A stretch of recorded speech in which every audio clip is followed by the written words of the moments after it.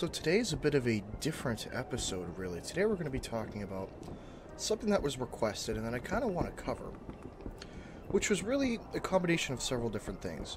The main topic was how do I, or how is the best way to grind out tanks? What's the best way to get up the lines and get up the tech trees? And another question was how do I keep and earn money? You know, how what's the best way to earn experience and stuff like that. And we're going to take a long, detailed look. This is going to be mostly a discussion, and at times I will throw some gameplay on in the background, but generally, this is how I want to walk through it. So, when talking this game about how do I get down the lines, how do I, what's the most efficient way to play this game, really? There's really three different factors to consider. And one I'm going to talk about firstly is what happens if you're someone that doesn't really spend any money on this game, that they don't have a premium tank, and they don't have a premium account. Now, this is the most difficult, obviously, out of the three. And this is where you need to make a decision, and it's kind of hard to make a decision early on. For instance, it doesn't make sense in this game economically to run up all the lines at once. Without a premium account and without premium tanks, you're not going to make it up to tier 9 or 10 anytime soon if you go up all of these lines at once. The smartest move I always tell people is get to a tier 10 that seems to fit your playstyle as quickly as you can. Now, I, to be honest, guys, your first line up to a tier 10, I know it's sometimes contradictory to what people say, but I wouldn't worry about statistics, guys. Your first four or five thousand games, however long it takes you, um, really your first grind up to a tier 10, don't worry about stats that much. Learn about just playing the game and try to observe what you have. Try to look at replays. Don't worry about win 8 and stuff like that. Just more worry about you playing and enjoying the game, but take some time to learn. That being said, once you reach a tier 10, the funny thing is you're going to be able to now play your all your tiers leading up to it and earn experience, this free experience. Or you can even choose to use them to bank some experience to convert. But the point being, I would suggest that with your first line in this game, I would keep any tanks you are good at or any tanks you enjoy. So, for instance, for the American uh, medium line, I kept the EZ8, the Pershing, the M46, and the M48. If that was my first line, I probably would have kept the T20 also, because I remember liking that way back when I played in like 7.0 or something like that. Um, what you're going to want to do is play the tank that you're best in to make some money. Generally, anywhere from tier 5 to tier 7s. Tier 7 mediums are kind of the exception to most things. Most tier 7s don't make much money, but the mediums are pretty good at making money. Things like the T20 with decent alpha damage and low cost per shell. But, anyways. So, the point is to get up to a tier 10 so you can then start banking some experience, some already converted experience. As you can see, I already have 7,000 laying around. Now, what's going to be good is if you go up another line, you can get all the way up to a tier 4 with around 7,000 experience. And without premium, which the reason I'm discussing this is because right now I haven't had premium for a week now to test this out. I was able to earn 7,000 experience running 6 or 10s. Not playing necessarily a lot, playing probably 80 battles in the last few weeks, which is about average, about on par, 40 battles a week, roughly. I'm trying to conduct this relatively scientifically, guys. But the point being, once you get to that tier 10, you can use that experience to go up other lines you want. So, a really good example is recently I've been going down the German line. What I did is I went all the way up to the E50. Sorry, the E75, my bad. I remember I went up to the Tiger 1 and Tiger 2 and E75, and I only plan to get the E75, the E100 I might get. And the point is, I used these tanks to play and have some fun and research them, then keep the free XP and put it in the bank, is what I call banking it. And then I actually skipped right through the VK3002M and I didn't play much of the Panther. So you're able to do this more efficiently. Now, the more tanks you get, the more you're able to do this. And that's why I stress getting tier 10s, because I, I don't have a lot to choose from, I have five of them. But something to consider is with your times twos every day, if you have five of them to choose from, you can get four five hundred, even sometimes on a good day, a thousand already converted experience. And if you do this quite often, you can really push yourself right through these grinds without even playing them that much. Now, once you pick your first line, let's just say that, you know, for the sake of keeping this the same, I've gone up through the American mediums, I'm M48. What I would then do, the smart way to do it, is to keep playing those tanks you're already good at. Get enough experience to get yourself up to around tier 4 or 5. I personally I don't mess around with the low tiers if you want to. Totally understandable. But I'm talking about the most efficient method. Without having premium, without having premium tanks. Get yourself up to tier 4 or 5, and then start playing those. Now, keep in mind, guys, keep a look at the calendars and look for when sales come on. You want the most efficient method to get through? Go through the lines that you know that are going to be on sale that you like, or even better yet, wait. If you have a tech line that you want to go up, let's just say it's the let's just say it's the Russian tank destroyers. That's the next one you want to go up. You wait till they go on sale to buy them. And I know that seems being very patient, but if you're patient enough, you can wait. Now, granted, if it's the only other line, so be it. But that's also about conserving credits. Now, on the topic of conserving credits, always try to buy consumables when they're on sale. You know, I don't have a lot currently. Let's see.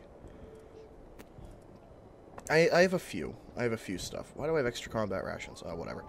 But in Depot, as you guys can see, I have a few of those, and I have around 100 or so of those. The reason is every time they're on sale, I buy them half off. That way, I end up saving a lot of money in the long run. Instead of being 20,000 per, it's 10,000 per, and it increases the amount of money you make in profit because they cost less, and that really doesn't hurt your profit margin much. And if you buy them in bulk, it's easier in terms of economically to figure out what you're spending. So, I would definitely highlight those in terms of making money. Now, in terms of grinding a tank itself, this is where it gets a little bit more intricate, should I say. What you need to consider is is your goal to get the tier 10?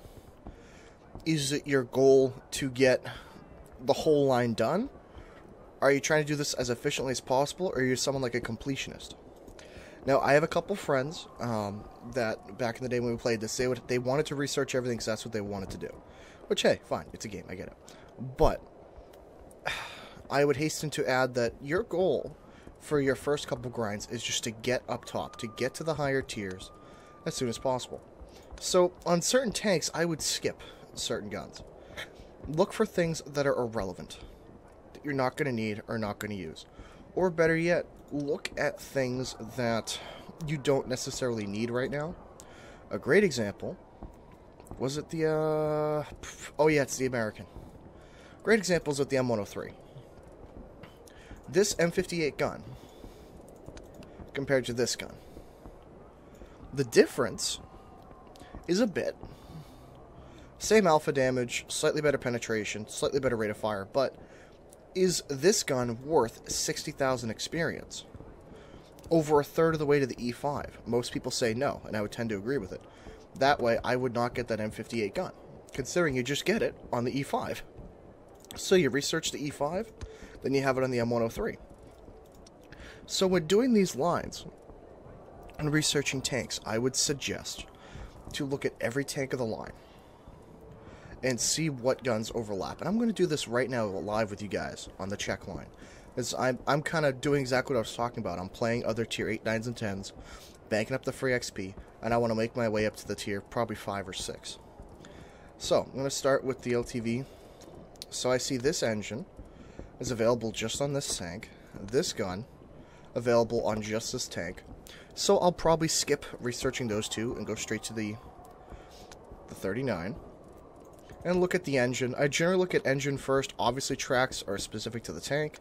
Radios are good to look at. Okay, so it's on the Skoda T25 and T24. This gun is just to this tank. Okay. Good to know. I think the Czech line is mostly like that. Yep, so that one's for the next one. So here's something I would say, guys. Notice this Tier 9 radio, which costs 7,000 research. At Tier 5, that's quite a bit is also researchable on the tier 6. Now, on average, the higher tier you are, the more experience you earn. And especially comparing the difference at tier 5 in radios, personally, I generally don't care that much about the radio. Depends on who you are. If you want to go for it, fine. But effectively, if you're talking about the amount of battles put in for the experience gained for the cost, considering it costs the same at tier 6, I would skip that radio and get it at tier 6. Now, going to the tier 6. Yep, you have to get those. That one I would get at this tier. This engine is available just on that tank. This is a T-34-100. Now, ah, there's an auxiliary turret. And this 850 meter radio, I would not get because you already have a five. Eh, the 525 might be good enough. That's really up to you. 9,000 experience on a tier 7 isn't terribly a lot. But I would definitely go for the turret first on that. Which actually, live, I want to compare the differences. Because let's see, is this worth 7,900? And remember, if you're trying to go up the line, the biggest thing you're comparing to is not relative to the other modules, but to the tank. This is less than 10% of the total grind of the tank. Thus, even if it only gives you a slight advantage in terms of view range and traverse, and the armor is the same, I would still get it. Because it's not a big setback in the whole grind. And that's the way you really have to look at this. Now, here's a great example of a tank that you could choose to fast track, or you can choose to spend another 34,000 experience on guns that, well, do you really need? And this is what we're talking about. It's 156,000 total for the tier 9. And the engine, because it's a medium tank, you're gonna need. You can't skimp on that. That's one thing about the mediums. You're gonna have to bite the bullet. And get, actually, it's quite a big difference from 600 horse to 7. Yeah, you're gonna need that. But the one thing to compare with is at tier 8, this stock 88. It's not gonna work. This 100 mil you get from the T-34-100. So you know you're going to have this. These two guns are the new ones. I'm going to get this guy out of here. So this one I'm going to put over here as the stock gun you're going to have in this tank. Now, what to ask yourself is, are these worth the upgrade? And I would say this. With the Tier 9, you're not going to have this 105. This 105 is only on the tier 8. And looking at the stats, it has less penetration, not as accurate, and longer aim time.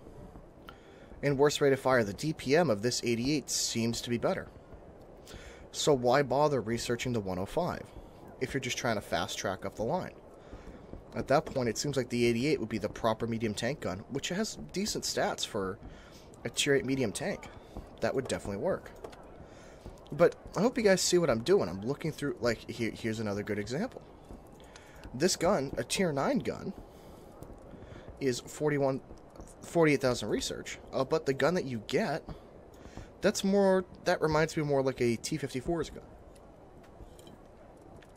Whereas the R11 that you can upgrade to, better pen, same accuracy, a little bit better aim time, but same damage, but this the R11 has a lower rate of fire, which means lower DPM than the A20.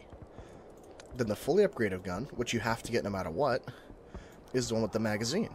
So it seems like in this case you would disregard the R11, save the 48,000 experience, and put that towards the turret, and then you'd be a third of the way to the AK-1. Obviously, you have to get the other modules here. But I hope you guys are following the logic behind that and understanding how that goes. Now, let's move on to. Oh, oh my god, didn't mean to do that. Let's move on to a discussion of the topic of premium time and or versus premium tanks. Now, this is kind of a everybody has their own different opinions on it, but I will say in terms of statistically what makes sense. And logically, if you can play this game on a regular basis, if you're going to commit five, ten hours a week, whatever, even just two or three hours a week. Premium time makes sense, obviously, if you can afford it. However, if your schedule is very sporadic, if you're not going to be on all the time, not going to be on often, I would always say go with premium tanks. You can never go wrong with having a few premium tanks. Now, here's something else to add. When buying a premium tank, make sure you buy a tank that fulfills the criteria of whatever you need. Do you need a crew trainer? If you need a crew trainer, you get a tier 5. That's why, even though I don't regularly play tier 5, I have several tier 5s that are only for crew training. Tier 5s have a very good bonus for crew training. Do you need credits? Well, I would say buy a tier 8 or a tier 7 you're really good in. For instance, lately for me, it's been my KV5 with the recent armor buff on it. It's great at printing credits. If you need something consistent, the T34 is a great example, or even the FCM50T. And I'm just going to flaunt my Type 59 because I can. But I digress. Or do you need a tank that you want to improve your statistics in? Something like, for instance, an E25 comes to mind. Or even the uh, T25, I, statistically you can do quite well in. Or even the Cromwell, which, as you guys can see, I'm not that good in, but I'm getting there with the B. So the point is, you need to identify with a premium tank the kind of situation you are with this game, and what do you need out of it. Now, the similar rules apply. I always recommend going for, if you're a new player, a tier 8 with preferential matchmaking.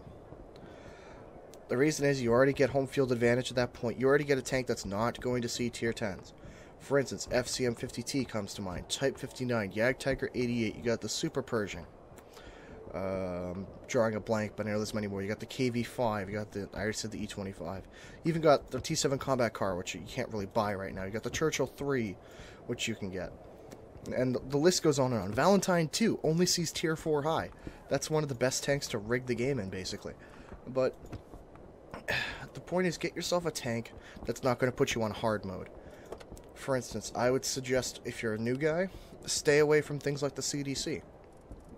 The M4A1, I'm kind of on the fence about that for a new guy. Easy to play, but really easy to get killed in. You don't have many options, so. But the point is with any of these tanks, identify why you're getting them. That's the biggest thing. You would be smarter to invest in tanks that are always on sale. Uh, go for that first.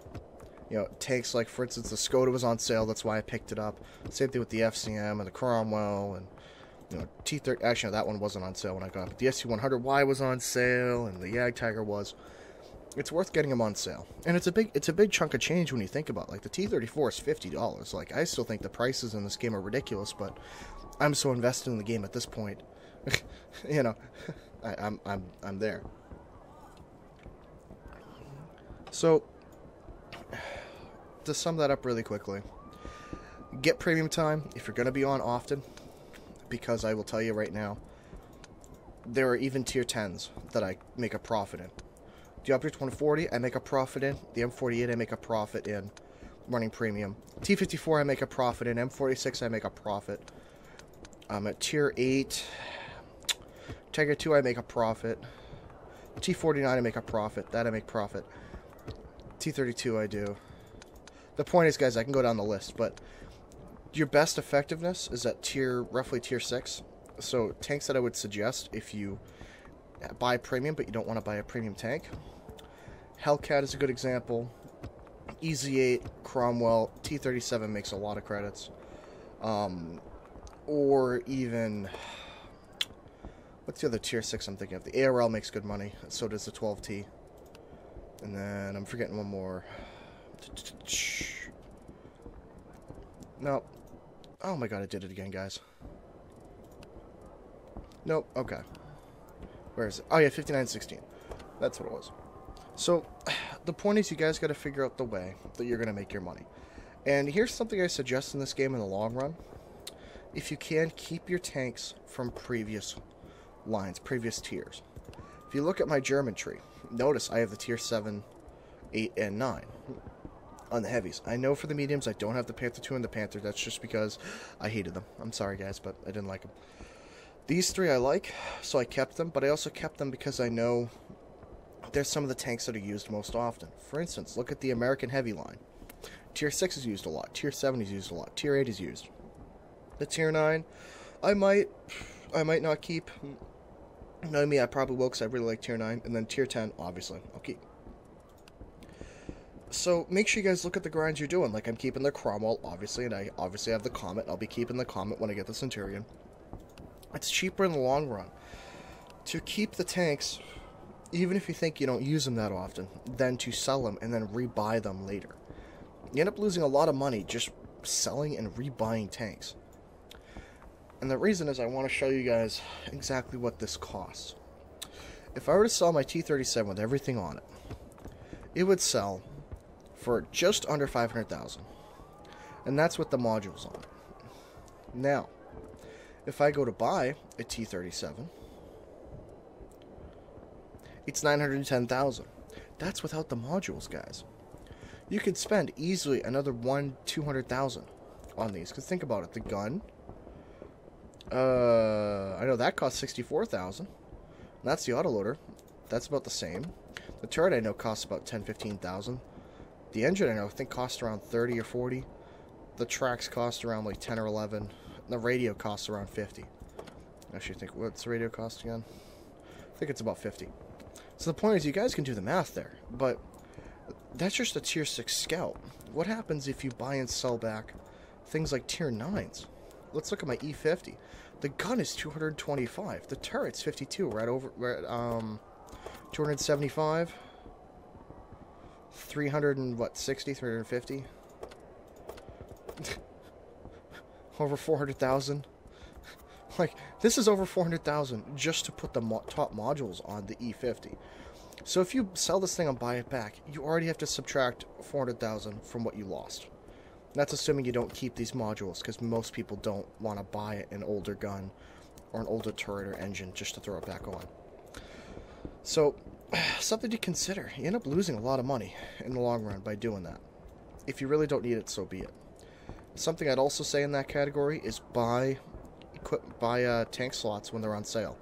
For 150 gold, it's not bad. I still think they should adopt what Armored Warfare did and give you free tank slots. You have an unlimited amount of tank slots in Armored Warfare, in which case that means I never sell a tank. I've never sold a tank in Armored Warfare. I'm not going to. I'm all the way at tier 6 on a couple lines, and I probably have 30 tanks in the garage. Because why bother selling them if it doesn't cost me to keep them? And if Wargaming were to give us unlimited tank slots, I'd like to see some of that gold refunded, because, uh, as you guys see, I've spent a lot on tank slots. So, now, that's pretty much it, guys. I'll be honest with you. That's kind of my little summary there, my little bit of what I wanted to talk about. I know some people asked about it. It's kind of a bit of a different video than what I usually do. So here's what I'm going to say, guys. If you guys have any more tips down below, any more comments about really the best way to make, earn money, anything else that I've missed or you'd like to add, definitely add it down below. And also, you guys can request down below any kind of videos you guys would like me to do. If it's on any of the tanks that are out there, any tanks that I have in the garage, as you guys can see right now, you guys can pause the video, stop and look and say, hey, what's this tank? What's that? Let me know, because um, a lot of the YouTubers have not been keeping up with how these tanks have been changing. Great example is the M48. I know QuickyBaby did a video, but, you know, a lot of other YouTubers completely missed over the fact that the M48 got a buff. Yeah, I've been loving this thing. But a lot of tanks do change over time. So, that being said, give me a like down below if I'd really appreciate it, guys. Make sure you sub to the channel. And that shall be it for this episode, and I shall catch you next time.